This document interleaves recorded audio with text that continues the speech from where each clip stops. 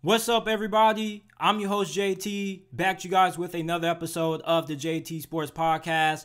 Got a very exciting episode. We're going to be discussing what quarterback should the Panthers draft in the upcoming 2023 NFL draft. Should they pick Bryce Young, CJ Stroud, or gamble for the upside with Will Levis or Anthony Richardson?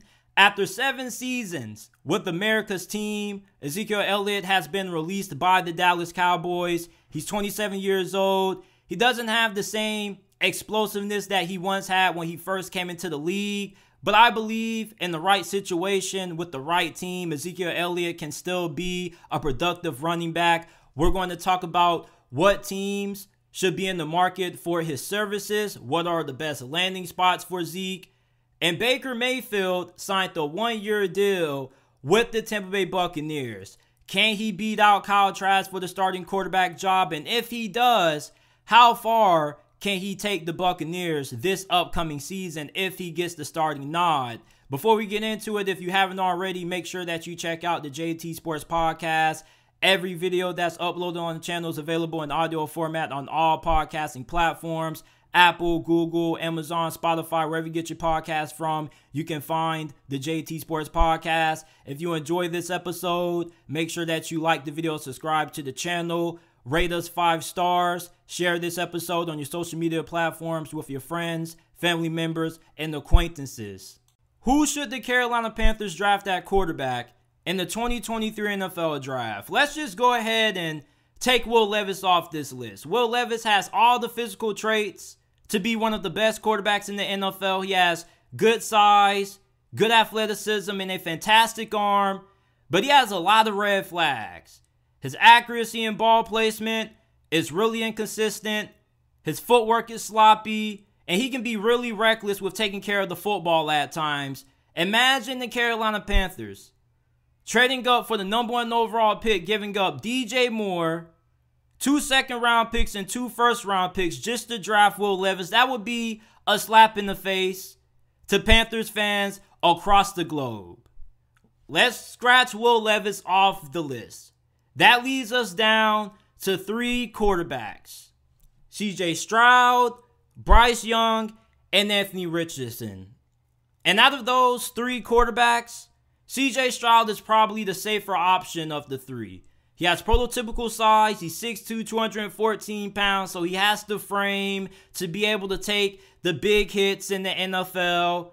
He should be able to stay healthy. And this is somebody who should be able to lead your franchise for the next 10 to 15 years. CJ Stroud has fantastic accuracy and ball placement, good anticipation when it comes to throwing guys open and he's a dog. You know, I love rooting for players who constantly get counted out, get doubted. Every single week during the regular season for Ohio State, I always heard people saying, man, CJ Stroud, he's too soft for, he just doesn't have that dog in him. And I don't know what the hell Ryan Day told him before the college football semifinal matchup against the Georgia Bulldogs, but CJ Stroud played like a man possessed. I mean, we were knocking CJ Stroud for his unwillingness to run. And I don't know what happened against Georgia, but the dog just got out of the cage. I mean, this dude was running around, extending plays, throwing on the run, picking up yards with his legs on the ground. I mean, this dude was just an unstoppable force. And if CJ Stroud plays every game for the Carolina Panthers, the way he did against Georgia, this dude is going to be having a first class ticket to Canton, Ohio. And that may be a bold statement to make, but if you go back and you watch that final game against Georgia, CJ Stroud was just a man amongst boys. He probably was the best player on the field, and that's with Marvin Harrison and Jalen Carter both being on the field at the same time. CJ Stroud was that damn good against Georgia. CJ Stroud put up a historic performance against Kirby Smart's defense. The only quarterback who had the kind of performance that CJ Stroud did against Georgia against a Kirby Smart led defense was Joe Burrow. CJ Stroud has all the tools to be a great quarterback for the Carolina Panthers. You don't really have too many red flags. You don't have no off the field concerns. He's pretty good when it comes to going through his progressions. He doesn't make a lot of mistakes with the football. CJ Stroud probably would be the safest option if you're the Carolina Panthers. You don't have to worry about the durability concerns that you have with Bryce Young. And plus, you don't have to worry about making him sit a year or two trying to develop him like you need to do with guys like Will Levis or Anthony Richardson. CJ Stroud is a day one starter. You draft him, he's going to be able to come in and contribute right away. Then you have Bryce Young. And Bryce Young is my favorite player in this draft class. And I believe that he's the best quarterback prospect since Andrew Luck. You look at the size and you say, JT, no thank you. No way you think Bryce Young is going to be able to stay around for 10 to 15 years in the NFL. And listen, I do have a lot of concerns about Bryce Young's size. Some people say last season at Bama he played at 194 pounds. Others may say he played at 186 pounds. He came into the NFL combine at 204. But I'm going to just be honest with you. I don't really care about Bryce Young's size.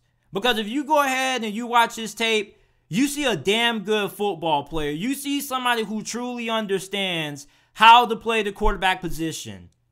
He knows where all his receivers are at at all times. His football IQ, his awareness is off the charts. It's like this guy just has eyes in the back of his head. He doesn't get fazed with pressure in his face. He has really good pocket awareness, something that you don't really see a lot of for guys his size. You look at Kyler Murray, Russell Wilson, these are guys who have to do a lot of damage throwing the football outside of the pocket. But Bryce Young, if he was 6'3 or 6'4, this guy would be labeled as the next can't miss prospect. He also is like Houdini. He's really hard to bring down. Yeah, he's small, but he's not the easiest guy to bring down. I mean, this guy can wiggle his way out of tackles, wiggle his way out of sacks. He's like Houdini. And when he gets outside the pocket, that's where a lot of magic starts to happen. He also has a good amount of mobility to be able to pick up yards with his legs. Even though you would have loved to see more of that during his time at Alabama. But Bryce Young has all the tools to be a great quarterback in the NFL. And if you're the Carolina Panthers, CJ Stroud is good. But I think if you were to rank these quarterbacks, it would be Bryce Young 1A and CJ Stroud 1B. Bryce Young, for the last two seasons that he was starting for Alabama football, you kind of can say that he carried their offense. Normally, Alabama has tons of players on both sides of the football entering the NFL draft. But the only notable player that Bryce Young was working with on offense that slated to be a top draft pick on the offense side of the football was Jahmyr Gibbs. And he's either going to be a late first round selection or early second round pick in this year's draft. So Bryce Young wasn't working with a stacked Alabama team like how you're accustomed to seeing out of Alabama quarterbacks in the past. And Nick Saban will probably even tell you that if it wasn't for Bryce Young, Alabama would have lost way more games than what they did last season. This dude, Bryce Young, one thing that stands out when I watch him is that he's always calm and collected. I never see him get rattled playing in some of the toughest, most hostile road environments in all of college football. He's always in control.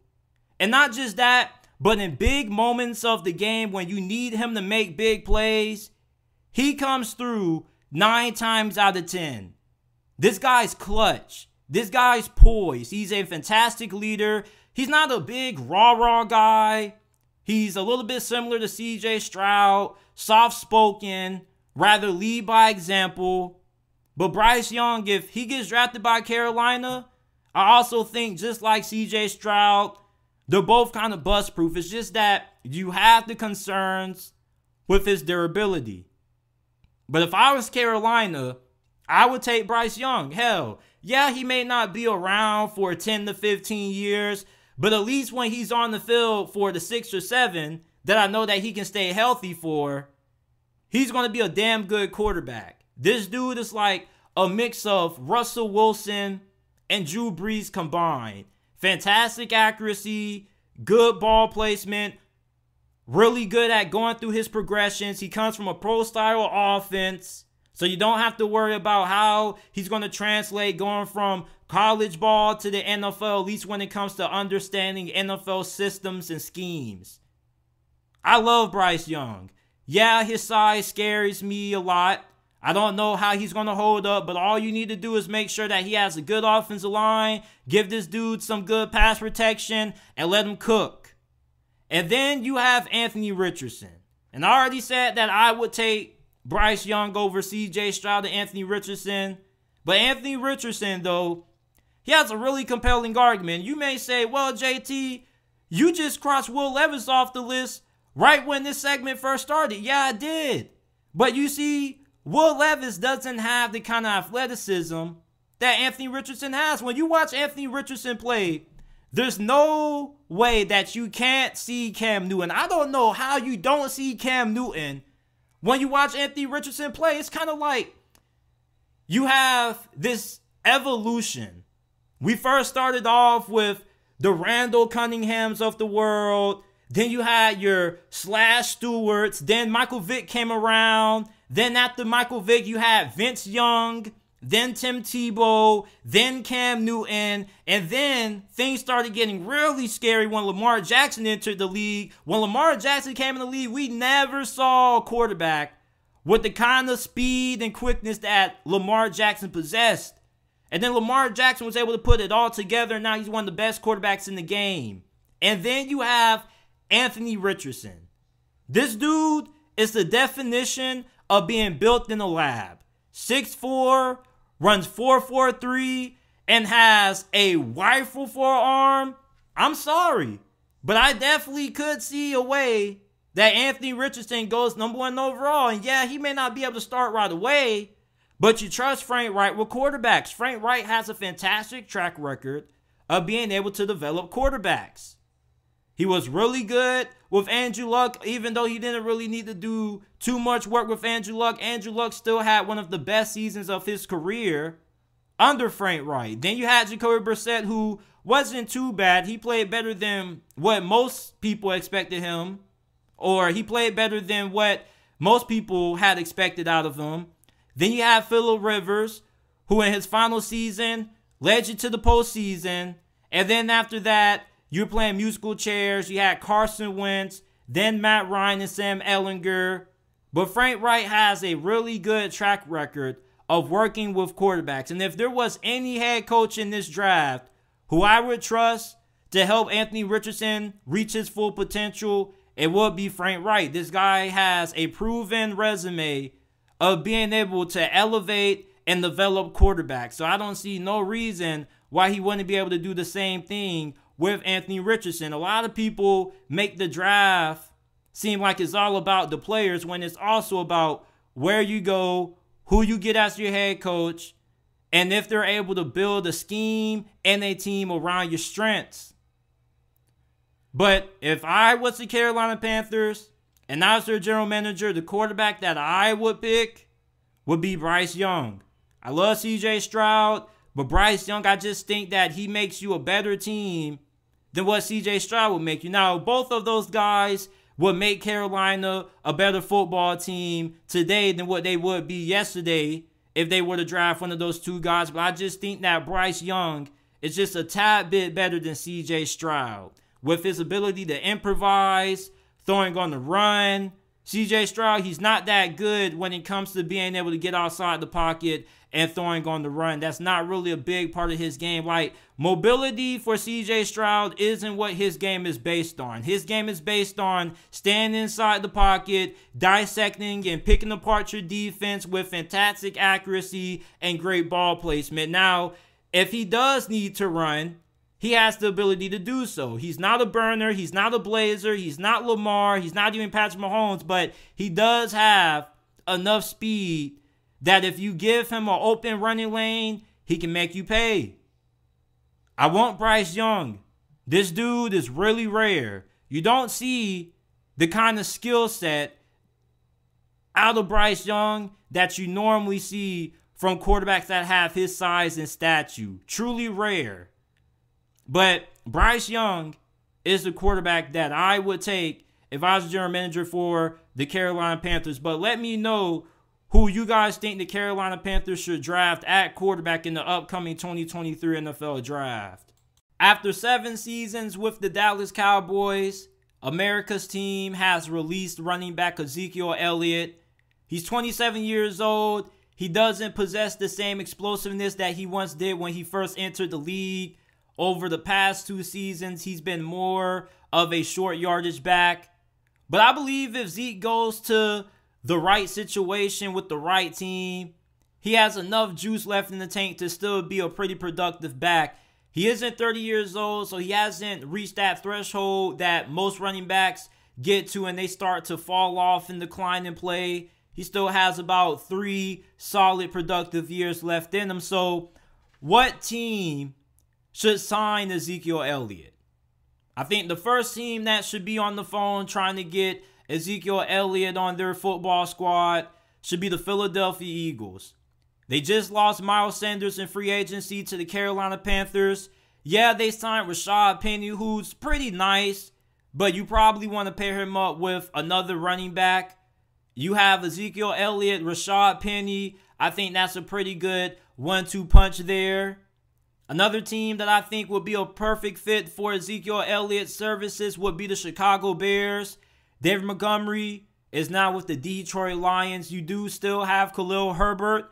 Khalil Herbert probably could either be your lead back or he could be a pretty good option behind Ezekiel Elliott. You got Justin Fields, so when you have that much talent in the backfield, teams are going to have to account for it, regardless of how you may feel about Ezekiel Elliott and his explosiveness. Having a quarterback that is that big of a threat running the football, such as Justin Fields, defenses are always going to key in on that. So that should open up opportunities for Ezekiel Elliott to have some big runs. The Los Angeles Rams, they're a team that kind of should be in the market for running backs. Cam Akers, he didn't really do too much for the majority of last season until the last couple of weeks when things finally started to click. But Cam Akers is just a little bit too inconsistent to trust him as your full-time RB1. So it probably would good. It would be good to have another option alongside of him. Ezekiel Elliott, He'll be kind of cheap. I don't really think he's going to demand a hefty salary or contract from any team around the league. We know that the Rams right now, they're kind of strapped for cash right now. You got Kyren Williams, who's a pretty good pass catching back, but you have Ezekiel Elliott. Then you have Cam Akers as your RB2. I think that can work. There's another team in Los Angeles that needs help at running back. Austin Ekeler just recently asked for a trade from the Los Angeles Chargers. Contract negotiations between the two parties broke down. He could get traded. And if Austin Ekeler ends up getting shipped off elsewhere, the running backs that you currently have on your roster at the moment are Joshua Kelley and Isaiah Spiller. You most definitely could use Ezekiel Elliott if you are the Los Angeles Chargers. And the Chargers have a pretty good team. As a matter of fact, you could say they're a couple of players short of being legitimate Super Bowl contenders. You got Justin Herbert. Your offensive line, when fully healthy, is pretty solid. You got Ezekiel Elliott in the backfield with Joshua Kelley, Isaiah Spiller. He probably ends up becoming your full time RB1 in that situation. Yeah, he doesn't bring you the pass catching ability that Austin Ekeler has, but at the same time, I think that Ezekiel Elliott with Kellen Moore, the fact that Kellen Moore has been the OC in Dallas for the last couple of seasons, Ezekiel Elliott and him are going to have pretty good familiarity with each other.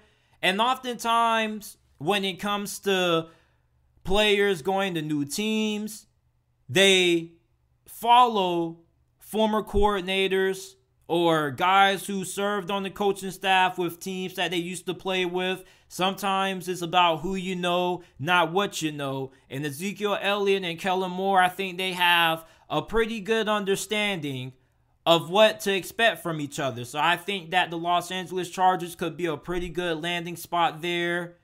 The Buffalo Bills, they've been needing running back help for a while. Devin Singletary, although he wasn't bad, he's a free agent now, and you could do better. Now you do have James Cook and Nyheim Hines. If you add Ezekiel Elliott to the Buffalo Bills, he definitely is going to be splitting carries. I think James Cook could end up having a breakout year. Really good when it comes to catching the football out of the backfield. He showed a couple of flashes last year, but it just wasn't consistent enough. He didn't really get enough opportunities as you would like to probably be able to access James Cook. But I think with the fact that Devin Singletary is a free agent, Maybe he doesn't come back, he goes elsewhere. You go ahead, you bring in Ezekiel Elliott. And Ezekiel Elliott with the Buffalo Bills, if they can improve their offensive line a little bit, I think that he could be a little bit of the missing piece of what Buffalo needs to get over that Super Bowl hump. People keep asking, why do the Buffalo Bills continue to not be able to make it to the next level, which is being able to make it to the Super Bowl? Well, the fact is, they rely on Josh Allen too much in the run game. And yeah, Devin Singletary isn't bad, I would still take Ezekiel Elliott over De- over Devin Singletary. I think that Ezekiel Elliott just needs to change the scenery. I don't think this guy is fried. I don't think he's in a situation like Todd Gurley was when he got released by the Rams and he went to the Falcons. I think that Ezekiel Elliott still has a good amount of juice left in the tank. It was just time for a change. And maybe going to the Buffalo Bills, maybe that would be the right change of scenery for Ezekiel Elliott. You're going to have Josh Allen, just like with Justin Fields and the Chicago Bears. You're going to have to account for that rushing ability. And same thing with Josh Allen. So you go ahead, you want to run read option. That can work. And Ezekiel Elliott is better up the tackles than Devin Singletary, in my opinion. I think that Ezekiel Elliott was a pretty good short yardage back for the Dallas Cowboys. It's just that you didn't have those same amount of explosive plays of 20, 30 plus yards that Ezekiel Elliott used to be able to generate with ease in his first couple of years when he first got drafted by Dallas. Going to the Buffalo Bills, I think will be a pretty good fit for Ezekiel Elliott. You're going to pair him up with James Cook, Nyheim Hines, so he probably won't be your full time three down back. You probably have him in on first and second downs. Obviously, you're going to have him in in goal line situations, short yardage situations. But when it comes to pass catching situations and passing downs, you're probably going to split those responsibilities between James Cook and Nyheim Hines. But those are the five teams that I think should be in the market for Ezekiel Elliott services let me know some teams that you guys think I overlooked that should also be in the running for Ezekiel Elliott. If you're listening to this on YouTube, let me know down in the comment section down below. Baker Mayfield has signed a one-year deal worth $8.5 million with the Tampa Bay Buccaneers. And I'm going to be honest with you guys. I don't really know how this is going to play out.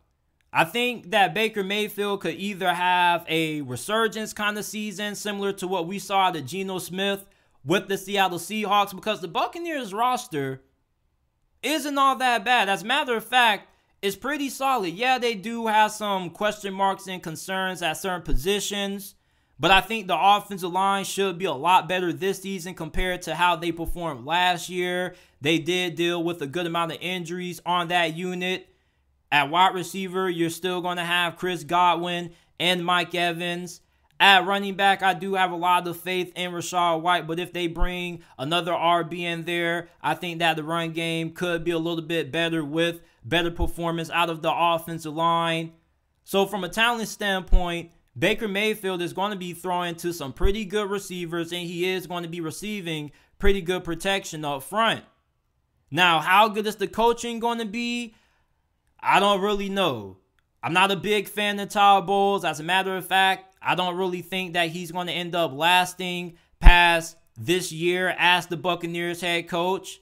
He cleaned house on the offensive staff right after the season ended. He got rid of all of Bruce Arians' guys. He brought in his guys. So we're going to see if his decision to clean house was for the better or for the worse. Now, when it comes to Baker Mayfield being able to beat out Kyle Trask, you probably have a lot of confidence in Baker Mayfield to end up being the starting quarterback come week one for the Bucks. But don't sleep on Kyle Trask though. He was a second round pick by the Buccaneers in the 2021 NFL draft out of the University of Florida. He was a Heisman finalist. He doesn't really offer you anything from a mobility standpoint. This guy is your prototypical old school traditional pocket passer, but he has a really good arm. He throws a pretty nice deep ball with pretty good touch. I saw a little bit of him in the preseason. Wasn't all that impressed, but you got to understand in the preseason, it's kind of hard to evaluate certain players. So it's going to come down to Baker Mayfield and Kyle Trask have a lot of confidence still in Baker Mayfield. When he went to the LA Rams, he showed me that he still has a little something. He showed a little bit of flashes of brilliance at times. And this dude also is a former number one overall pick. So, of course, the talent is still there. The question with Baker Mayfield is can he be mature? Can he prove himself as a true locker room leader? Is he going to be better when it comes to taking care of the football? And then for Todd Bowles, is the coaching just going to be better this season compared to what it was last year? There's a lot of pressure that comes with coaching Tom Brady. There's certain things that you kind of aren't going to be able to do with Tom Brady there. So for Todd Bowles, maybe him not having Tom Brady at quarterback takes a little bit of stress off his shoulders. But we're going to see how this plays out because I honestly don't know how this is going to play out. Either Baker Mayfield has a resurgent season, maybe not as good as Geno Smith, but maybe he ends up throwing like 22 touchdowns, nine interceptions. I think that could be a pretty solid year for Baker. And if Baker Mayfield ends up getting a start, he probably is the second best quarterback in this division behind Derek Carr, which I know isn't saying too much, but it's something.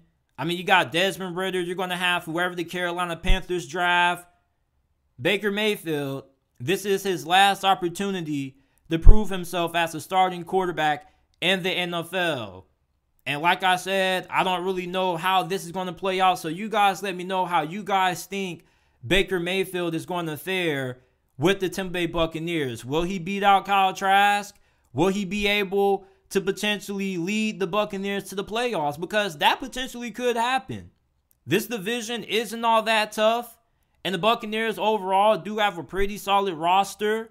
Yeah, we don't know how the coaching is going to be and all that, but I think that Baker Mayfield could be in a situation where things end up working out for him. He ends up balling out, ends up getting a long term deal. Nothing crazy that's going to pay him anything insane, but if he ends up having a solid year, he could end up remaining the starting quarterback for the Buccaneers for the next couple of years, or he could end up getting another starting opportunity elsewhere. But also, there's a good chance that this doesn't work out. Maybe he does get beat out by Kyle Trask, and Kyle Trask ends up getting the starting nod week one. And that pretty much would be the end of Baker Mayfield's NFL career when it comes to being a starting quarterback. Because from that point forward, he probably will only be viewed as a backup quarterback in most people's eyes. Baker Mayfield, this is his last shot, his last opportunity. Is he going to be able to make the most of it? I guess we will see.